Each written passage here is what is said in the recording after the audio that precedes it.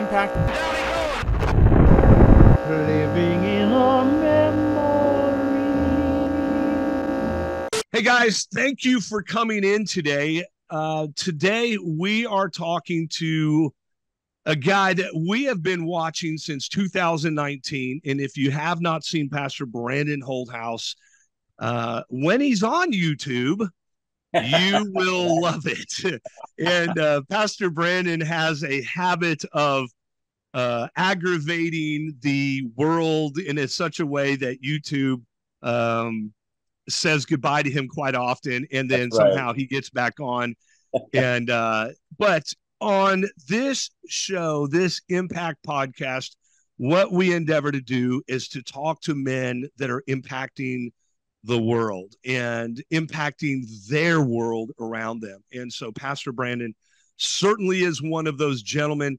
And uh, this guy knows the word of God. He preaches the word of God without apology.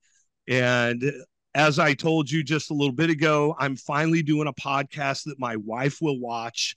Uh, she has not watched one of them since, but she finally told me I'm going to watch this one. So, Pastor Brandon, thank you for coming in. I, I can't even tell you. I, I told my wife, I was like, I hope I don't come across too much as a fanboy, you know. So, but uh, we we absolutely love your church, love your ministry, Thank you. and watch everything we can. And there is not a day that goes by that we don't watch something that we're like, huh, wow, I never knew that. And so I went to Bible college and seminary, was Sure. in the ministry for 20 years. Wow. And every time I'm like, I never learned that in seminary. What happened? You know, so um, thank you for coming in. Uh, really Welcome. such a blessing. So um, Yeah, thanks, man. I, I appreciate it, man. It's great to meet you, and Yeah. um, and maybe we're gonna have you out someday in California to come speak. Um, so hey, awesome. Thanks for being letting me be on your show, man. Oh yeah, we uh, as a matter of fact, we used to travel to California uh, when we were bodybuilding. My wife and I both, we were both pro. Uh, I was a pro bodybuilder; she was a pro figure competitor, Okay. and we were out in California, out there near Jack's church. Uh, Okay. Never went to his church, but we Oh, were wow. in. Yeah, we were there three, two to three weeks out of the month, every month, and uh, Oh, wow. Training, That's uh, training what we called high end clients out there. So okay. people with a lot more money than sense, quite honestly. So, Okay. Gotcha. I um, gotcha. but today we are going to talk to Pastor Brandon about what is going on in Bible prophecy. But I want to approach it from a different aspect because this is the guy to talk to, I believe. I want to know on this in the spiritual realm what's going on because if God is real, if Satan is real, then that means Satan is operating in everything that we see on this planet because we know he is the prince of the power of the air. He is the little g God of this world.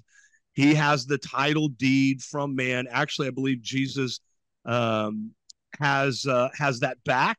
Uh, You can correct me if I'm wrong You're right. but but I do believe so. And um, God, Jesus owns the uh, deed and the keys to sin, death, and hell. So, um, but he, Satan, is quite persistent, and I believe uh, quite delusional.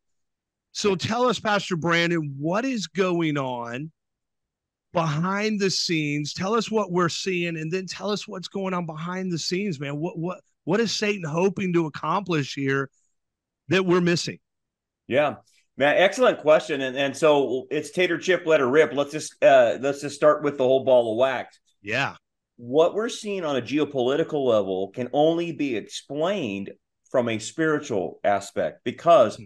none of this makes sense. And and what happens is on a human level, when things don't add up and things are are way beyond human. Like let me explain this. When things are anti-human, okay, like Yeah.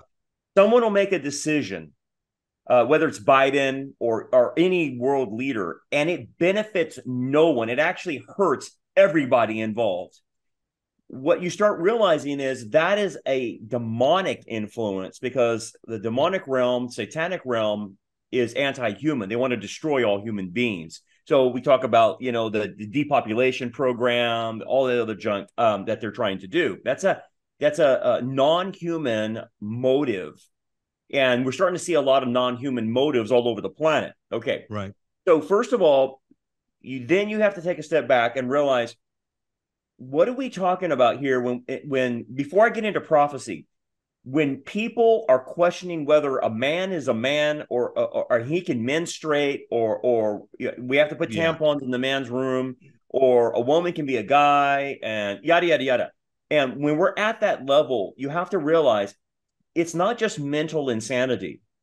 It is just flat out wickedness because it's an affront to the creator Right. when you when you see that so what people should take a step back and realize is wait a second this is a whole new ball game now let me add now a geopolitical uh, example what we're talking about israel um, when you see the anti-semitism and the support for terrorists like hamas who decapitated babies took out babies out of the mother's womb and and and hung the baby in front of the mother before they killed her that is non-human that is Nazism. That is that is Islamic terrorism.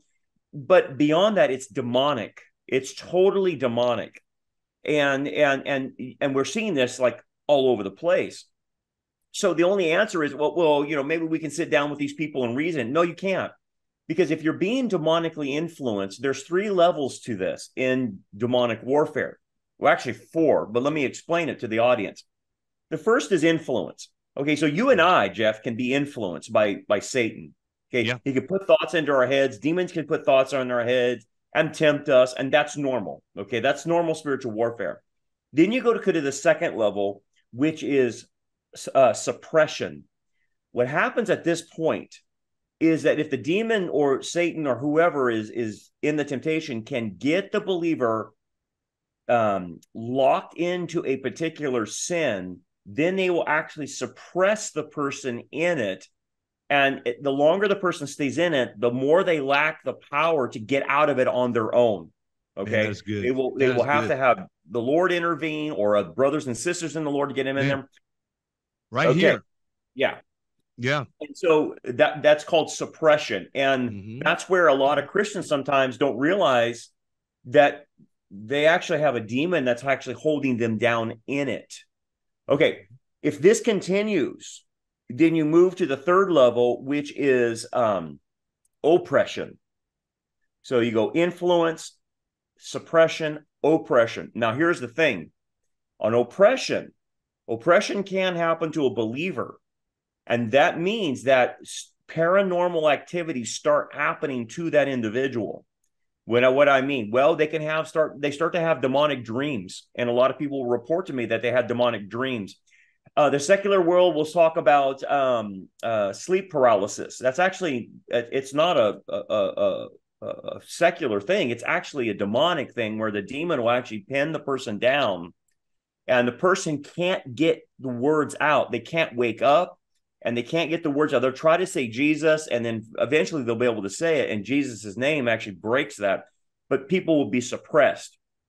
And then other paranormal activities, the hearing of voices, which is not schizophrenia, um, and and just weird paranormal things happening happening to people. Like I've seen, well, I've actually had people talk to me in case studies where they're driving and the wheel actually of the car turned off the road to try to kill them um, Mm. because that's what the demons will try to do is kill the person. Um, even though a believer cannot be touched, they'll try to get the person to somehow kill themselves, commit suicide, whatever. And then the fourth level is a possession, just like we're seeing in you know in the movies like The Exorcist or even The Nefarious. That's real, um, and Oh, and yeah. Satan can possess people. Now, here's the thing. Let me make a connection about possession and oppression with what I'm seeing in the political world. When I actually look at people um, that are very evil, like Hamas, when you look into their eyes, you can see the demonic spirit that's controlling them. And how do I know? Because I've seen the eyes. The eyes are Yeah. the telltale sign of what's going on in the soul. And you're like, well, what are you talking about? Is it a supernatural thing? Yeah, in one sense, because here's what you have to understand about demonology. When a demon is taking over, they will actually take over the person's face and countenance. They can actually change the countenance of the individual. And the way you'll know is by the eyes. and uh, they actually come from the back of the head to the front and change the the complexion of the person. And when you're actually looking at, it, you're not looking at a human, you're looking at a demon that's actually taken the, the the the form. Now, here's the eyes. What's the key on the eyes?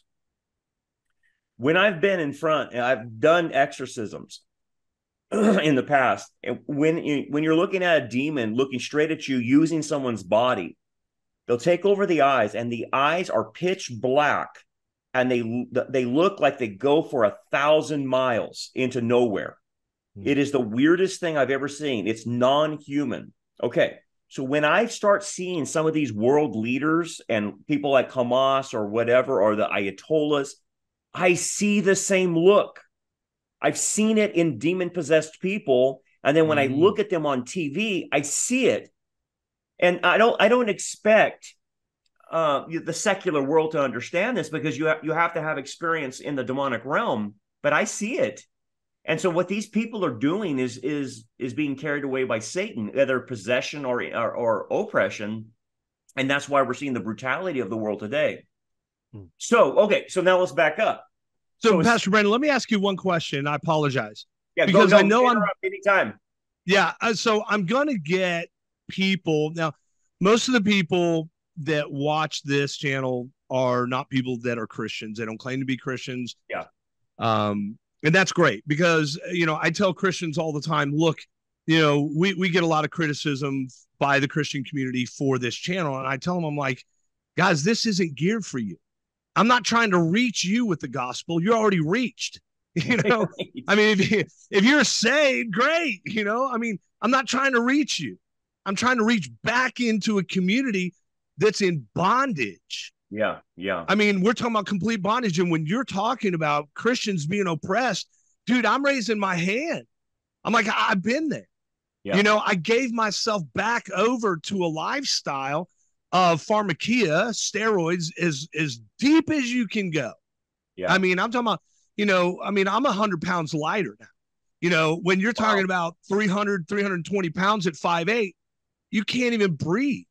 You know, it's but and then you can't stop either without an intervention from God. Wow. I mean, literally, you can't yeah. stop. And and I was obsessed with this before I could write. And here's the thing. It was a familial thing. I did not know my father. My father was a Vietnam guy who I met when I was in my late tw- mid 20s in Bible college in seminary. I met him later and uh, a Vietnam special forces guy, all that stuff. Didn't even know him. We were pulled out of the house when I was four or five. Didn't know him, and come to find out, he was obsessed with bodybuilding. Come okay. to find out, his dad was obsessed with bodybuilding. Okay. Now, my father, when I met him, he had already remarried. He had remarried. Had I have a half brother with a different mom, same father, and guess what? He's obsessed with. Oh wow, yeah. Yeah. So it's a familial thing through the bloodline. And when you're talking about that, man, I'm sitting there going, oh, oh, oh yeah, dude, I've been there. I, I, dude, I lived it.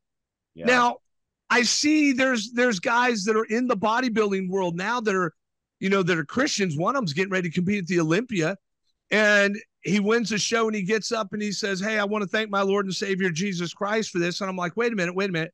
All of this violates the Bible." I ran from God for 15 years in bodybuilding and the entire time knew I was I was knew I was sinning against God. I knew it. You you can't go out and buy the number one thing is you go out and buy an illegal drug whether you like it or not it's still illegal therefore you have you have broken the law which means you have broken uh, you've sinned against God. Right? I mean that's the that's the way it is. The other thing is you're you're like you're like Nebuchadnezzar. You know, look at this great body I have built for my might or by my might and for my glory. Here, everybody look at me. You're not glorifying God that way. But you're talking about this, and I'm going, oh, park right there just for a second. Yeah. Because so many guys are going to watch this are in this bondage.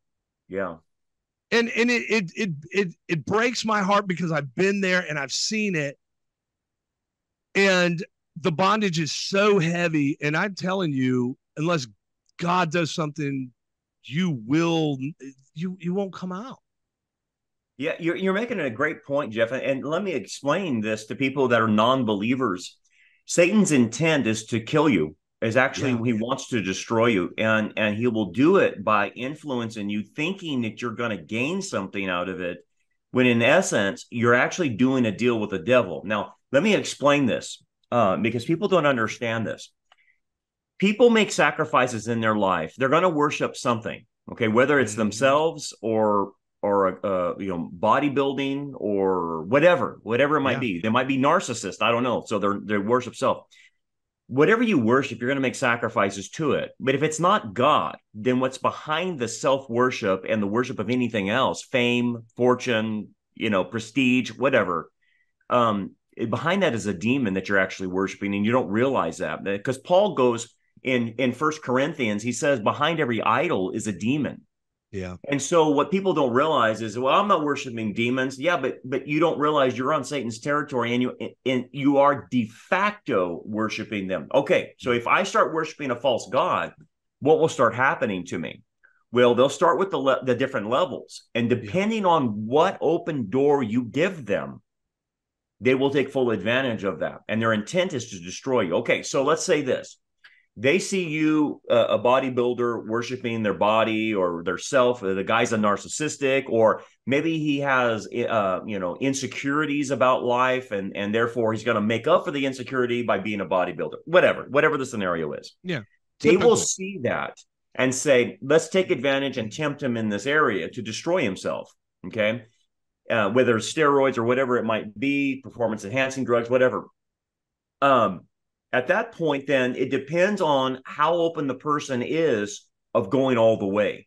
Yeah. And if the person is willing to go all the way, that means they're actually opening the door for more demonic influence. Now, here's what will start happening demonic influence can start by anything. You just mentioned family of origin. Right. Okay. What we understand is that a door can be opened by a parent, a mm-hmm. grandparent, and that actually can pass on to the next generation. This is why God will say, I visit the sins on the third and fourth generation.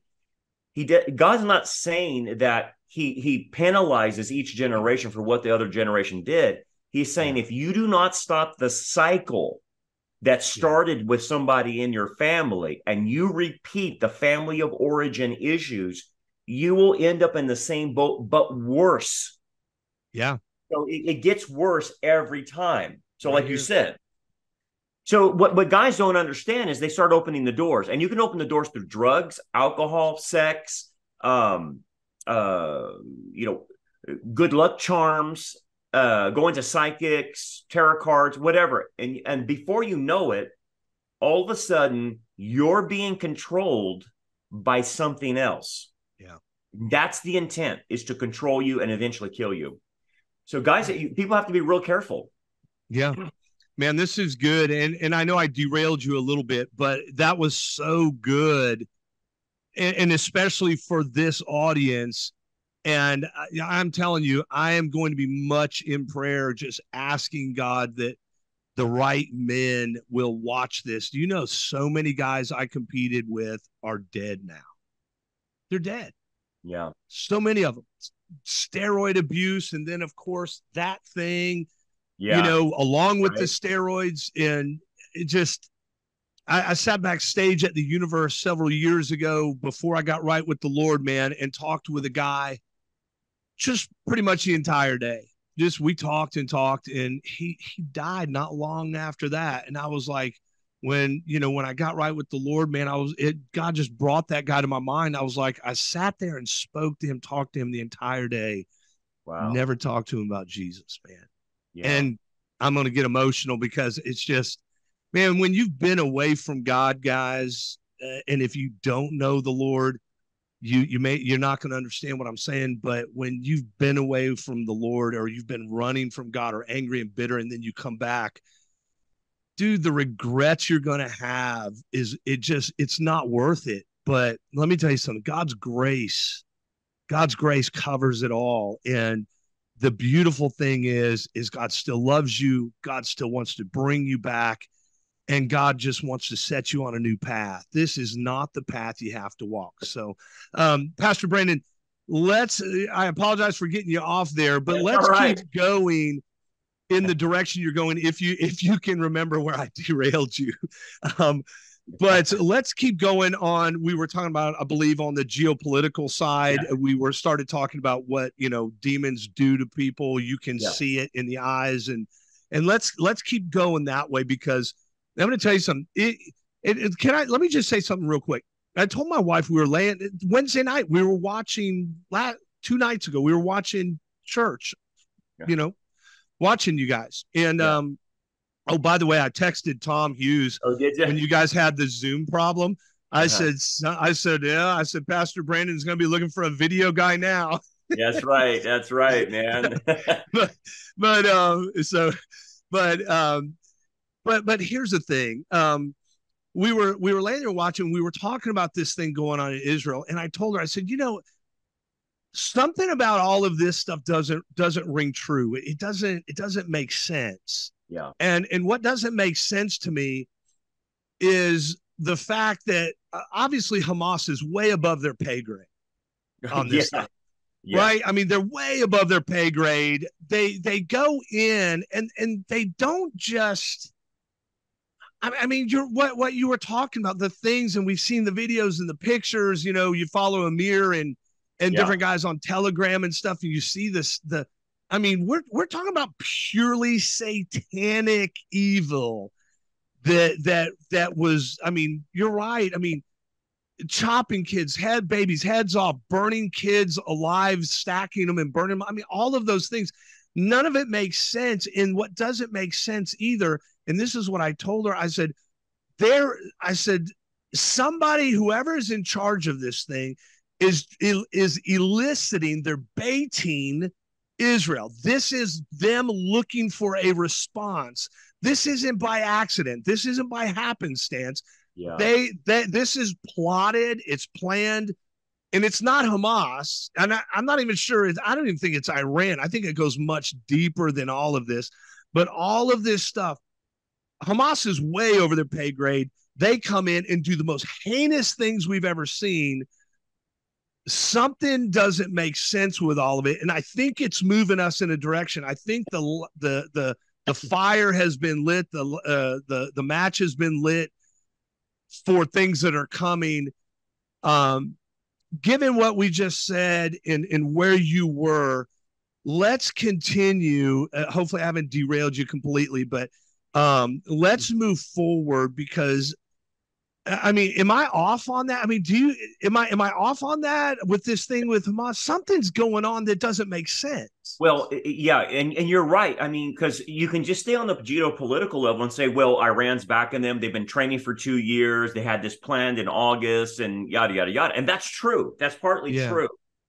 But with with Christianity and the Bible, you have to go to the next level. And the next level is the coordination and and the, the ability to to do things at a rate that they did. I mean, there was a total breakdown with the IDF on their intelligence and all that.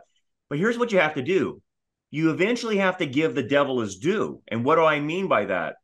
Th- there is a demonic coordination Yeah. that's doing this. That's that's possessing the Hamas and and letting them do things. You understand when I've dealt with people that are possessed, you know, Jeff, you and your bodybuilders, I mean, very strong. Uh, I mean, you guys, you guys are the top of the limit as far as human strength. I have seen Yeah. scrawny people Yep. overpower 10 people because a demon is possessing it and he's throwing people around across the room and and you're you're looking at this kind of stuff and you're like oh wait that's a power that's beyond human. And so when you see Yeah. hamas being able to do things in a very well coordinated way it's not just iran it's demonic Yeah. empowerment. That's what people have to realize. Okay so when we're talking about what's going on in the middle east everybody's got to understand three aspects. Where is this coming from spiritually? There's a past to it what's presently happening and where is this going for the future so past present and future the the answer to why all this is happening it comes back to the Abrahamic covenant. The God made a promise to Abraham and his descendants, the Jews, Right. that that land belongs to them, and through them, the Jewish Messiah would rule and reign one day for a thousand years in Jerusalem, in Zion. Okay, and so ever since Satan has understood that plan of God, he has tried to thwart it. So there have been, that's why the Jews have been attacked ever since their existence. I mean, think about this the descendants of Ishmael are the Arabs. Okay. Ishmael was born to, uh, uh, uh, to Abraham by a concubine by the name of Hagar. And Ishmael was a 20 year old guy and started persecuting Isaac as a toddler. And that's when Abraham and Sarah said, We got to get this kid out of here. Yeah. And there's a prediction that he would be this kind of person, and his and his um, descendants would be like this, that they would always strike out against their brothers, the Jews. And that's exactly what we have. Okay, so this this is the where it started. So what's Satan's intent? Satan's intent is to when before Messiah comes, it was to destroy the line of the Messiah, destroy the Jews completely, and he almost Right. did many times under uh, in, in Persia with Esther saving uh, the Jews there. He could, so he didn't stop it. So Messiah is born. Okay, so what? Why does he continue to attack the Jews? Because God has made promises to them that He hasn't fulfilled yet. And here's what Satan's intent is: if he can wipe out every Jew on the planet, then God can't make good on his promises to Abraham and the Jewish people. And then he can go before God and say, You're a liar. How dare you judge me for being a liar because you can't, you're a hypocrite. And, and so, really, what he's trying to do is get off on a technicality and not be thrown into the lake of fire by trying to prevent God from establishing his promises. So that's where the animosity comes from. So the hatred that's in the, the Arab people not only comes from Ishmael, but it also comes from satanic influence. And then Islam becomes kind of the medium in which Satan uses to incite this religiously towards the towards the Jews. So this is the problem. So that's mm-hmm. that's why there's such a big deal. So anyone to dismiss this, like, well, they're fighting over a piece of land. No, Right. the issue is it's an attack on God's promise. And will God make good on his promise? Because Jeff, you and I are Christians. Okay. So God's made a lot of promises to us. Right. If we're going to trust God on his promises, he's got to make good on Israel's promises too. Yeah. To be trustworthy. No, I agree. that's, Yeah. That's that's part of the game. So that's the past, and that's what's happening in the present. Okay. Can I ask you one question Go real ahead. quick before you run on? Um, because you said something a little bit ago. God made promises to Israel. yeah. Those are those are everlasting promises. They Yeah. didn't stop. Is that correct? Yeah. The, yeah. The, the Hebrew So the church hasn't taken Israel's place. No, there's not replacement theology. Thank you very much for inserting that. Um, God has actually two peoples.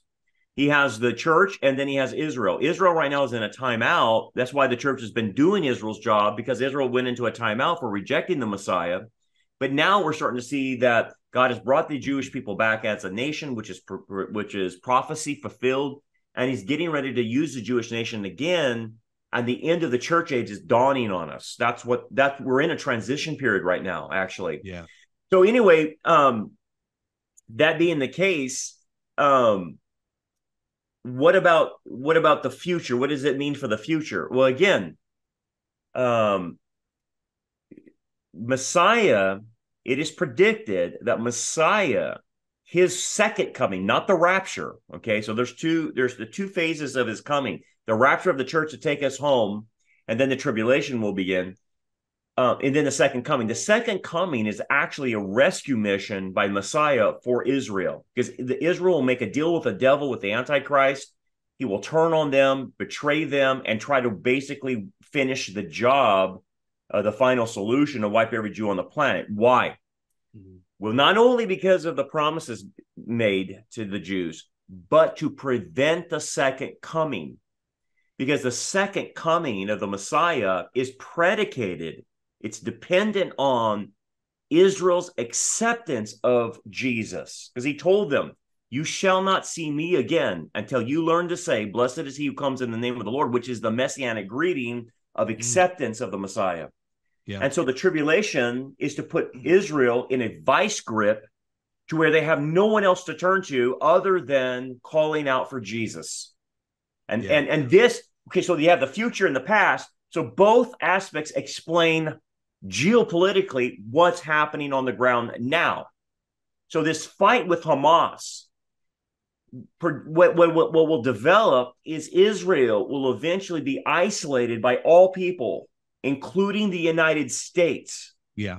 And it's to put Israel in this position to make them vulnerable, according to Daniel chapter 12, to make to break the power of the holy people. So they do call out to Jesus. But here's what will happen, unfortunately. Israel will, will stand alone. All, all nations will be against her. And then somebody will rise up and say, I will be your protector, I will be your friend. And instead of it being Jesus, it will be the Antichrist. Yeah. And he will come to their rescue, pretending to be the false Messiah, obviously, and saying, I'm here to protect you, and then make a covenant with them.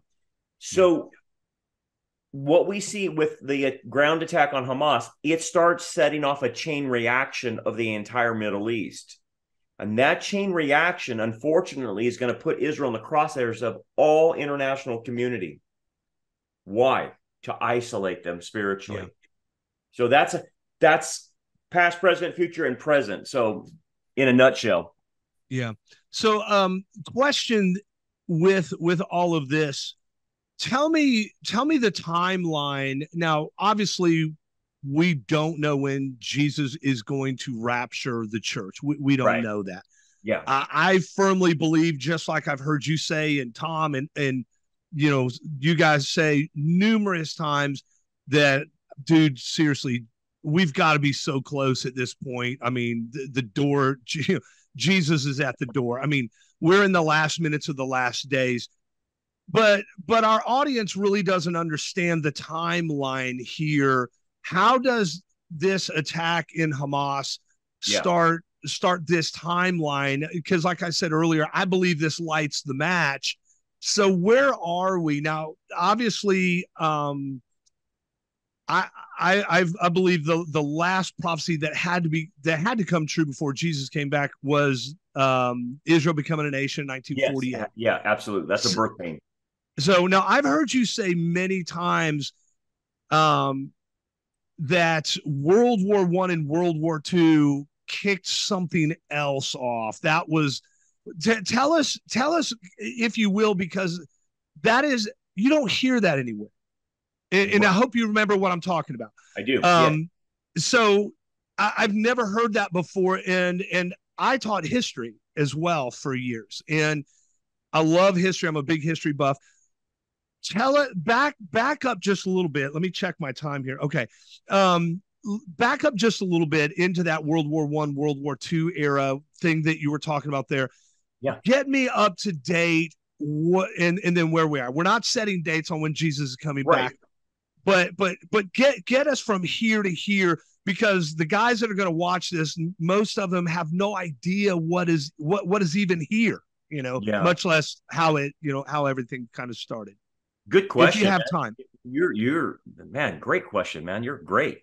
Um, okay, so when like a guy like me who studies prophecy, and I've been studying for 30 years, when we say we're in the last days, it's not like I'm some crazy tinfoil hat brigade guy. I mean, because any nut job can say that, right? And there's plenty of Right. people on YouTube saying we're in the last days, and Ugh. But and biblically- 500 of them telling you what day jesus is Eh, coming back yeah, right. and when he doesn't they just keep setting another date Uh, they keep pushing it back, right? I mean, and so we all know that, and, and even the secular world knows how stupid people are when they do things like that. Yeah. But from from a conservative biblical exegete of Scripture, when I say we're in the last days, I am hanging my hat on what Messiah said would be the sign that the end of the age has begun. Okay, So then this is where we go to the Olivet Discourse. And the Olivet Discourse is where Jesus had a private discourse with his disciples and telling them uh, a, a, synopsis of how the age is going to go down. And, and they and asked this is Matthew 24, correct? Matthew Starts- 24, Okay. Mark 13, and Luke 21. So you have to put all three passages together to get a, a systematic outline. Okay, great. But let's but I'll stay on Matthew 24. So there's three Okay. questions they ask. What is the sign of your return? What is the sign of the end of the age? And what is the sign that the temple is going to be destroyed? Those are the three basic questions they asked. Well, he answered, the sign of my return is I come in the Shekinah glory. So, okay. So that's that. And then he asked, what, what's the sign of the destruction of the temple? They said, when you see the army surrounding Jerusalem, that's when it'll happen. That happened in 70 AD. Okay. But the key one is this one that we're talking about. What is the sign for the end of the age? The age that that not only was there, you know, at, at when the, the apostles lived, Yeah. uh, and, and but but extends into you and I where we're living. Okay, Right. what's the sign of the end of the age? He says this. The first thing he says in Matthew 24 are non signs. Listen carefully, everybody. Jesus answered and said to him, Take heed that no one deceives you, for many will come in my name, saying, I am the Messiah, and will deceive many. And you will hear of wars and rumors of wars, and see that you are not troubled, for all these things must come to pass, but the end is not yet. So what he was saying is, look, here's the here's here are the non-signs, non-sign, N-O-N signs. You're going to hear people come say they're, they're me. That's going to be, but that's a non-sign. That doesn't mean that the end of the age has begun. And then you're going to hear wars and rumors of wars, and that's what we've had for the last two thousand years of wars and rumors of wars. He goes, Right. war those types of wars are are non-signs of my uh, of the end of the age then he switches and now he's going to give the sign and the sign is this verse 7 for nation will rise against nation and kingdom against kingdom and there will be famines and pestilences and earthquakes in various places all of these are the beginning of sorrows and what, what that means is birth pains is actually the translation of that. Okay, so he says, so basically the sign is this nation will rise against nation, kingdom against kingdom, coupled with earthquakes and famines. Okay. So people read that, okay, what is nation rise against nation, kingdom against kingdom? Well, you have to go back to how they spoke in the first century. And that is what we call a Jewish idiom, uh, kind of a way of saying, you know, like we say, it's raining cats and dogs. Right. Okay, that's what an idiom is. And that's an, a rabbinic idiom, actually, that was practiced or, or used in the first century, meaning world war. So, what Messiah is saying, using that rabbinic term, he says, look, the end of the age will begin when you see in history world war. Yeah. And it's going to be coupled with famines and earthquakes at the same time, which happened and in World War II, or sorry, World War One, and has been happening ever since. So the first time in history, you're a history student, the first time we ever had World War, which is given the term World War, is Yeah. World War One. yeah. That was the first we didn't have the technology really. That's I right. mean, yeah. and the, and and the capabilities to be out have a. Uh, I mean, before then it was regional wars and stuff like Right. that. The first time in history had it not had it happened until then. World War II is a continuation of World War One. Actually, okay. Yeah. Now here's the thing: if that's the case, did we see famines coupled with World War One? Yes, we did. Absolutely. And and if you look at the earthquakes increasing from the earthquake centers, they have been on a steady incline, massive Oh, yeah. uh, since that time. Okay. But here's another question. That sign has been given, which means that the countdown has started. The birth pains have started. Now it says that that's it. Be, the the last days has begun, but we don't know how long they go. That's why you can't set dates. right. But but based on that, technically speaking, I can say biblically we are in the last days, and we have been since World War One. Now, let me add another feature to this. Both world wars, get this, played a significant part in getting Israel back into the land, Yeah. which was predicted by the prophets. that Israel would be pulled out of all the nations and come back into the land. So World War One, what happened? You had the Balfour Declaration, and then in World War II, basically they recognized the UN and the United States recognized Israel as a nation at that point in time, and part, Britain partitioned the land for them. So both wars played a part in Zionism. Mm. And so this is technically why we say we're in the last days, is because the sign has been given, World War. The problem is, I don't know how long we go. I'm I'm like it in the agreement with Tom. I don't know how how I don't I, I just can't imagine going longer yeah. than 50 years or 20 years. I mean, because there's so much convergence of things, something's gonna pop. And, and, and so um, that's why we we always continue to say look up um, because the rapture could happen at any point in time. Yeah, we have adopted the um, the mentality that you know what Jesus could come back today, but we're going to live like he is not yeah. coming back for another 10 years because right. perfect I, I know so many people that they have become um almost paralyzed in their christian life you know i mean and in regular everyday life. And i'm like i'm like dude you still got to occupy. You still have kids that are going to college and all of this stuff. You're you're not you're not ignoring the fact that Jesus could come back but you're you are living life like God wants you to live. And while you're here do something that God wants you to do man. Go go tell somebody about Christ. I mean yeah. look I got a daughter that's not saved you know and and you know and and two grandkids from her and and you know man I want Jesus to come back but my heart breaks for her and and and you know, my son claims to be saved, but he doesn't live like it. And they'll they'll never watch any of this. Yeah. But you know, I don't I don't know. So man, I, I want Jesus to come back. But I was talking to even my daughter last night, and we were talking about some things, and she brought it up, and and I was like, you know, hey, since you brought it up, let's we'll talk about it a little bit. And and I told her, I was like, you know, honey, if you hear that millions of people have disappeared and and I will be gone, and I said, when you hear that, I said, you know, try to get to my house if you can. I, I think there's going to be pure chaos in the world. Oh, but yeah. if you can get here, get here. There, you know, there there'll be a car here, that type of thing, you know, for you. I said, but and she, and you know what she told me? She goes, you know, Dad. She goes, and because I told her I was like, you know, wouldn't you? I said because our grandkids are gonna, your grandkids are gonna go they're they're so they're they're they're babies basically. I said yeah, they're yeah. And she said, "Well, then at least you'll have something of me with you." Oh wow. And I told her, I said, "You know, honey, I said that just breaks my heart." And and so we talked a little more, and and I talked to her about the the the you know what will happen during the tribulation of the mark of the beast. I said, Good. she said, she said, "Don't worry, Dad, I won't take it."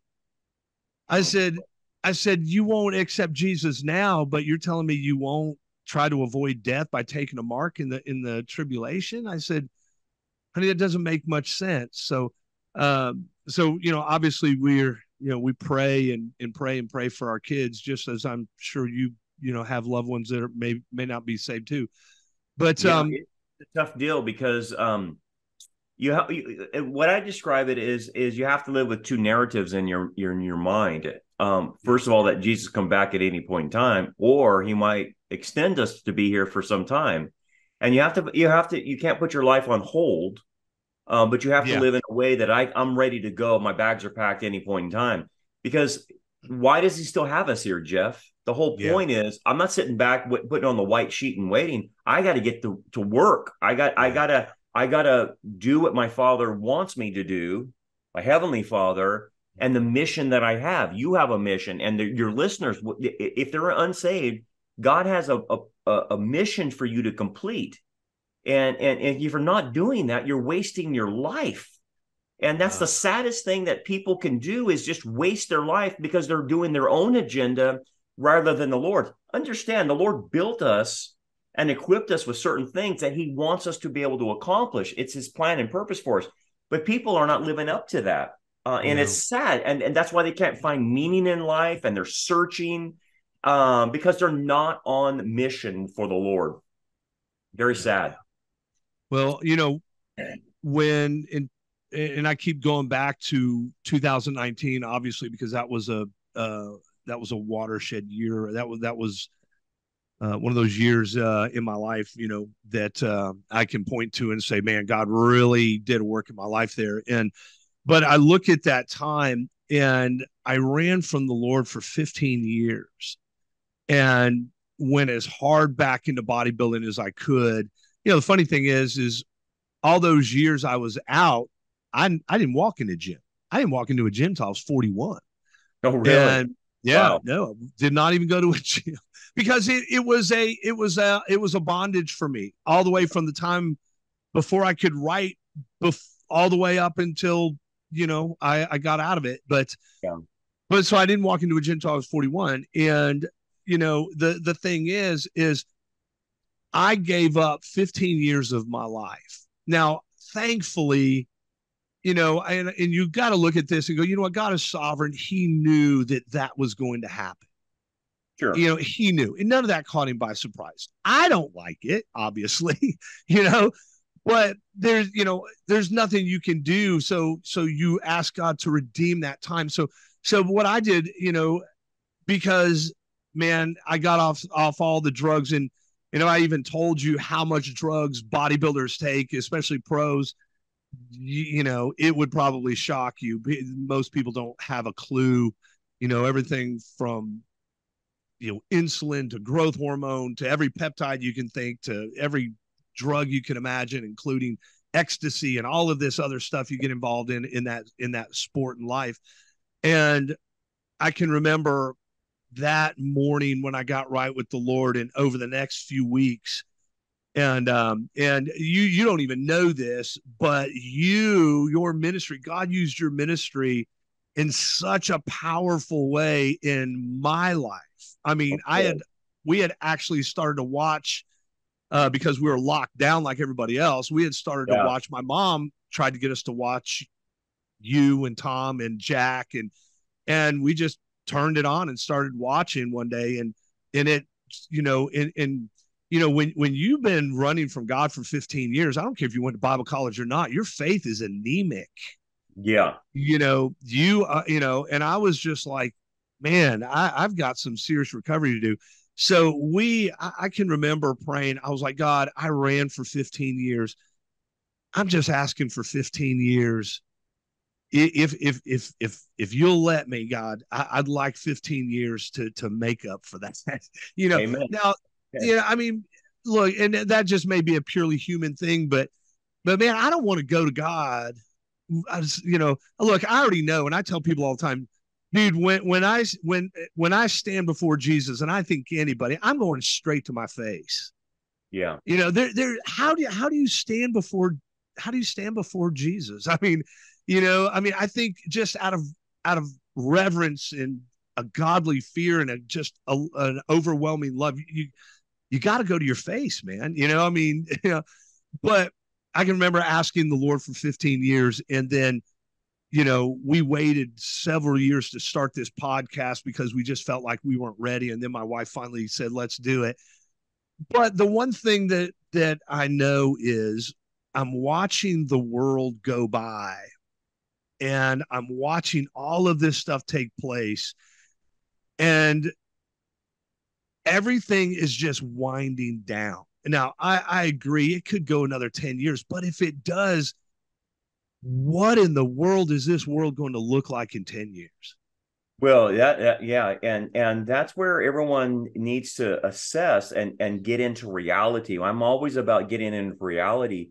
You Yeah. cannot ignore what's happening around you, and, and just from the simple fact of we we can't we have people that can't figure out what is a male or a female. Come on now. Yeah. Um, you know, I mean, and and really, we're going down this path. We used to lock people up in insane asylums for this. Okay, Yeah. I'm not trying to be derogatory towards anybody, but we're we're entertaining mental illness and saying it's legit. Our our health and human services uh, uh, guy or is pretending to be a girl for the United States, and it's like what a joke. If you cannot see the world crumble, crumbling around you, we're on the verge of World War Three. Yeah.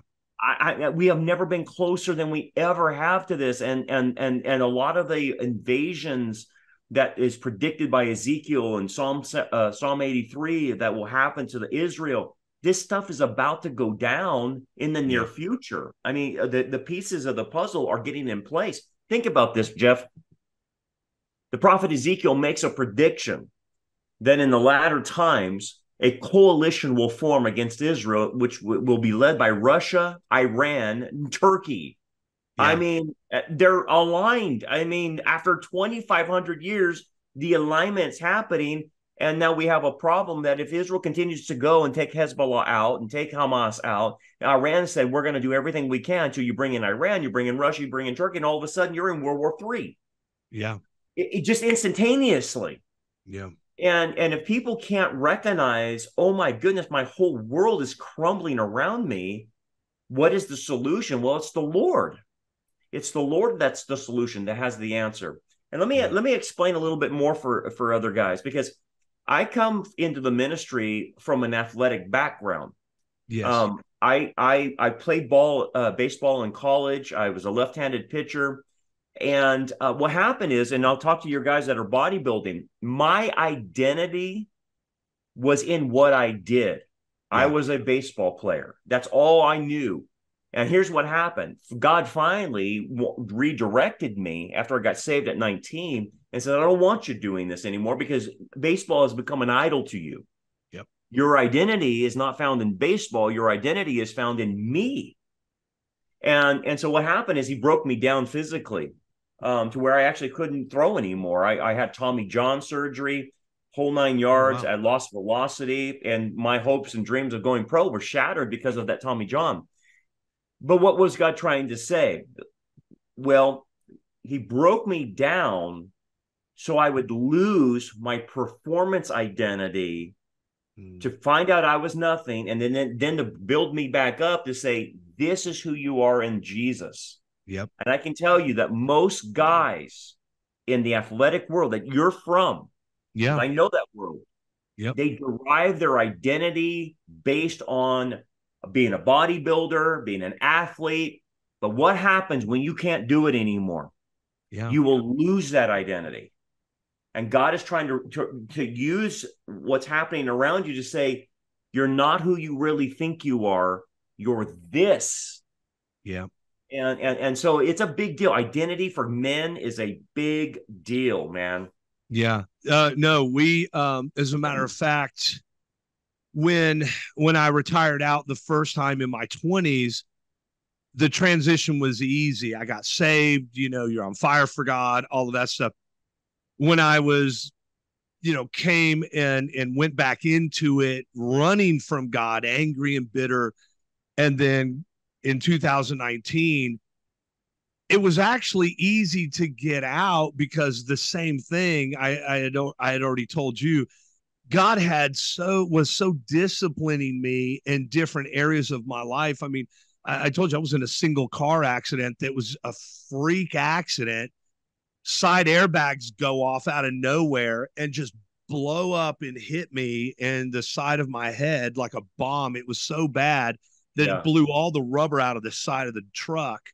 And it just it malfunctioned and it put a knot in my in my neck. Now I was always known for big traps and and that kept me from really i guess i don't know i mean i say probably breaking my neck but yeah but you know they don't my neck doesn't have a, ho- a whole lot of way to go you know but it hit me so hard i had a huge knot on the back of my on the back of my neck and before i knew it um we were in the gym and i was getting ready for a show. It was my first show going to be back. And you know we get on the incline press. It's it's a day for chest. And you know, you you know, you're you're you're warming up 225 for a set of 20, 315 for a set of 20, 405 for a set of 10, 15, and then you go up into the 500s. And when I got to the 400s, you know, normally you're just banging them out. And then all of a sudden, I'm going and, and my left side won't work. And oh, no. Well, thankfully, I had guys that caught it. But the next thing I knew for the next 18 months, my hand starts curling under and oh. I've started doing this number, and see, it still doesn't. But had such nerve damage that ended up just taking me completely out. You know, went to a neurologist. They were like, "Yeah, you've you've got a pretty serious deal going on. You're you're pretty much done." And so I thought, well, okay, you know, here we go. Well, unfortunately, you know, I doubled down and then still ended up going back and competing in, in getting my card. But the point is, when I got right with the Lord in 2019, I all of a sudden had to had to even though it was easy to quit because God had broken me down, tore yeah. my left lat off the spine. Yeah. And yeah. just tore it completely off the spine and didn't even know it because wow. of the nerve damage. Wow. And found out when I was going to the Mr. Universe, uh, found out guy was like, uh, man, when did you tear your your lat? I was like, what are you talking about? You know, I mean, I can't oh, see man. it. And I'm like, I, I didn't notice it. And then, you know, so I go back to the doctor, and the doctor's like, yeah, it's torn. And, and, you know, and he told me, he goes, you know, the problem with guys like you and probably you throwing in that athletic background. You you you live with discomfort and pain so much you don't realize when you're hurt. You're right. That's true. That's so true. I pitched yeah. in pain all the time and i yeah. i would uh, medicate to kill the pain so i could pitch. Yeah. And so with a bodybuilder you live in extreme discomfort. I'm like you know and so you know i was like dude that was a great workout man my back is really sore you idiot you tore the spine you tore your lat you know Right. But but God, but here's the thing, and my point is sorry for the long way around. Oh, but it's good, man. It's good stuff. The, the point is this God had made it and put roadblocks in my life where I couldn't go back now if I wanted to. Yeah. My right arm is now shrinking differently than my right or my left arm than my right arm because of the nerve damage is back. My left pec is almost gone completely now because of all that. God made it to where this is what I tell people God, if you're saved and you're running from God, God will eventually corner you in. Yeah, he does. And you got a choice to make. You got a choice. Are you going to keep moving forward in rebellion against God? Are you going to get right with God? But understand there is a sin unto death. In other words, you can get to a point where God's going, you know what? I'd rather take you home than leave you here on this planet. I, I firmly believe that. I firmly believe I was right there because yeah. of how far I had gone. And um, and you please feel free to correct me if I'm wrong, but I, I do believe that God will, you know, you can get to a point where God either says you're out, you know, and, and takes you home. But yeah, um, he does. You're you're totally right. I mean, if you you decide to do a prodigal son move on him, and you and you won't come back, yeah. um, sometimes he'll take you home. You'll you'll die an early death, unfortunately, yeah. and that's that's all through Scripture, by the way. Yeah. And and you got to remember, like what you and I are talking about, and the guys listening to us is, um, what has God got to do to get our attention? I mean, He broke. Oh, that's down. good. You know, He broke you down. Yes. And and and, and there's a, a situation in the in the Old Testament where Jacob is wrestling with the, the, the Lord at night, and he yeah. doesn't realize it's the Lord, but he's wrestling with this guy and and and really that's our we're wrestling with the lord too until we surrender to him and yeah. so he's wrestling with him and the lord knowing it's jacob says what's your name and the lord knows his name but why does he ask him that because he wants jacob to admit who he really is because jacob fronts jacob is a manipulator yeah and when i when i was playing ball I fronted with my athleticism. That's and I good. hid, I hid what I was ashamed of inside. And mm. this is the heart of it. So you start wrestling with God and he starts breaking you down like he tapped Jacob's hip and said, you know, basically I can take you down at, at any point in time. When he yeah. started tapping my arm like that and where I couldn't throw hardly anymore, he was saying uh, he was saying to me, "Brandon, who are you?" Are oh, you the good. baseball player? Are yeah. you the, the, the the believer in Christ? Yeah. And I, I, I wrestled with him for about three years afterwards, and I'm telling you, that's every man's wrestle. Yeah. Will you let go of your false identity, the front that you put up in front of everybody, to humble yourself and say, "No, this is who I am in Christ." That's a yeah. hard one, but it has yeah. to be made. I tell people all the time, people go, Oh, Jared's Jeff the bodybuilder. I'm like, no, actually I'm not. You know, yeah. I mean, you know, in the first place, you know, uh, that's not who I am. And and the the crazy thing is, is I never let that define me because you know, I would tell people all the time, I was like, you think I'm a meathead, you know, because you judge the book by its cover. And I get it. I mean, rightfully so. But I can actually carry on a conversation. I've got two degrees. I, you know, I've I, I was at First Baptist Merritt Island, First Baptist um, uh, Naples, okay, uh, years ago, and um, that's a whole conversation for another time about the modern day church. But uh, it's corporate climate as far as I'm concerned. But anyway, um, so, but you know, yeah, sorry, I digress. But you know, in in all of this, let, let, me, let me just break it down here because I, I need to honor your time because I know you have an appointment. In, in all of this, guys, I, th- I think what we're saying today is look what's going on in the world. Yeah. Examine your life, man. Look how the future is so uncertain and then while you have today, get right with God. If you don't know Jesus, man, come to know Jesus today. Amen. All you have to do is believe on the Lord Jesus Christ, you shall be saved. Man, repent of your sin, dude.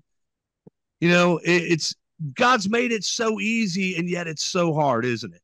I know, right? It, it, yeah, it, to to give up the old identity, to give up your old lifestyle is very difficult. That's what holds a lot of people back. But here's what people uh, let me add one more thing to, to yeah, this. please. People are afraid. Well, if I do this, Brandon, and you're telling me the world is is crumbling around me, and we're going into prof- a prophetic scenario, which is basically Armageddon, the end of the world. Yeah, I said, yeah, yeah, it's true, but and well, I'm I'm a young guy. I want to get married. I talked to my boy, and he's 21, and, and he's like, well, "Dad, you're telling me my life's going to end because Jesus is coming back. I want to get married, have kids, all this stuff." I said, "Hey, hey, time out, time out." I said, "What you don't understand is the kingdom age. It's yeah. not that we just um we're going to be raptured and all of a sudden we're we're we're strumming a harp on a cloud." I go, "That's not that's wrong. There's a kingdom coming." Yeah. And that kingdom, you get your life back. Yeah. Everything you lost in this life, your health, relationships, maybe you lost your childhood, maybe you lost a marriage, whatever, you get your life back. And he says a hundredfold, a hmm. hundredfold. What do you mean a hundredfold? Yeah, this is how gracious God is. That if you yeah. trust him, he goes, I will make up for everything you lost. I will wipe away every tear from your eye and and because of that that's where our real future is. Because guys you're going to lose in this life. I, that's just the way the world is. It's sin yeah. cursed. Mm. but if you want your life back i want my childhood back i want my 20s back or what i want my health you get it in the next one. So that's what jesus promises when he says i will give you eternal life.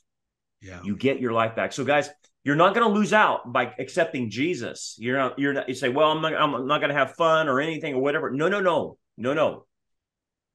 He's going to give everything back, but he can't do it here. There's too much sin and evil in this yeah. world. He has to expunge it out first. That's what the tribulation's about. And then he can create paradise for us. And that's what he promises. So there's a lot there, guys. Amen. Well, Pastor Brandon, uh, man, about 40, 11,000 uh, things we could talk about, but I, know, right? I, I, really want to honor your time here. We'll have um, to do it again, my friend. Oh, yeah, I would. Uh, trust me. I've had uh, Pete Garcia comes on about uh, every two or three weeks, and yeah, Pete's a good uh, guy. I like him. Yeah, Pete's a good guy, man. We uh, we just did normalcy bias, and it just uh, yeah. aired just a little bit ago, and um, but uh, matter of fact, it aired about one o'clock, I think, and uh, it's got. If you you'll notice the video because the thumbnail has a bodybuilder in a bubble, and you know, and the idea is your bubble's about to pop. So, but everything I do on this channel has to be geared towards bodybuilding, you know, because that's where these guys are. So, sure, uh, no, that's great, man. You, you have become all things to all men, so that I might, by all means, win some. And we've had guys get saved, man. It's it's so cool. I, I, will tell you this one story, and and I mean literally. um, gentleman over in South Africa, he watches this, watches the Wednesday night Bible studies for men and everything. And he went, he got a Bible for him and his two boys, and they watch and use this as church. Uh, and and wow. I'm like, wow. I'm like, I know churches you should watch. you know, I, am uh, I, well, I'm you are a pastor, so well, yeah. But let, let me tell you something back then I used to consider myself a, a, good speaker and and all of that stuff. And and yeah you know would speak you know Sunday mornings uh, multiple services things like that at times. And but uh, something happens over time you know and you go you know God started pressing on me about stuff and I was like yeah no thanks yeah, God, you know, because I was asked to speak a couple of weeks ago, and I was like, "Yeah, I really don't want to do that. I'm not very good at this anymore. I just, it's really hard, and now it's very, very hard. It used to be so easy, and now it's yeah. very difficult. So, um, you know, it, it's just, uh, I, I'm a lot more reluctant to do that, but, but you know, trying to get out of my comfort zone at this point, and you know, do what God's told me to do. So that's all you can do. So, well, you're getting the truth out, uh, Jeff, and and understand this: there are so few voices out there now. I mean, there's tons of voices, but they're not telling the truth, and, they're sugarcoating yeah. everything. And God bless you for being out there because we need more guys like yourselves and more more men to stand up um, that have a spine against all this evil. So you're doing it. Keep it up, man. Yeah, well, I appreciate it. I will. Uh, I will be back in touch with you and tapping you on the shoulder. Hey, uh, Pastor Brandon. Hello, Pastor Brandon. so, anytime, anytime. Yeah. I'll available for you, brother. If, if it reaches one guy, that's all I yeah. care, man. One yeah. guy, just one guy. Eternity has changed. That's unbelievable. So I love that. Well, again, thank you so much, okay. and uh, enjoy the rest of your day and your weekend. God bless you. I finally did a podcast my wife will watch. Amen. Thank you guys for coming in. This is Impact.